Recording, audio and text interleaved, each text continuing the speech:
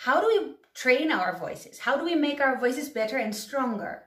Well, there's so much to be said there, okay?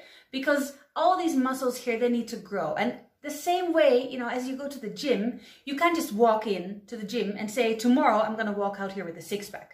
So when you go to the gym, you start somewhere. That's the same thing with your vocal cords. You start by creating a habit. You don't even start with building all these gigantic muscles because that doesn't start on day one. On day one, you're going to be out of breath. Yeah, and you're going to feel a bit uncomfortable because it's so annoying to do all those exercises. The same thing with your vocal training. You might get frustrated because maybe you can't hit the pitch or you cannot go all the way up or all the way down or oh, you don't know how to breathe.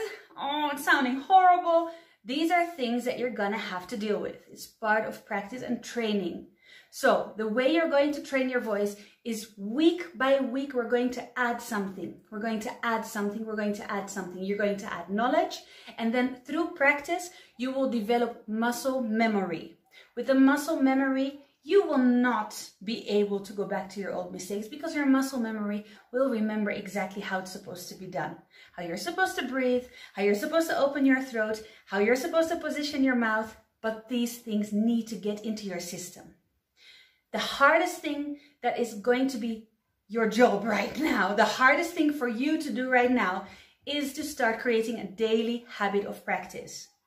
People say it takes about 66 days, and this is not just people, it's actually science.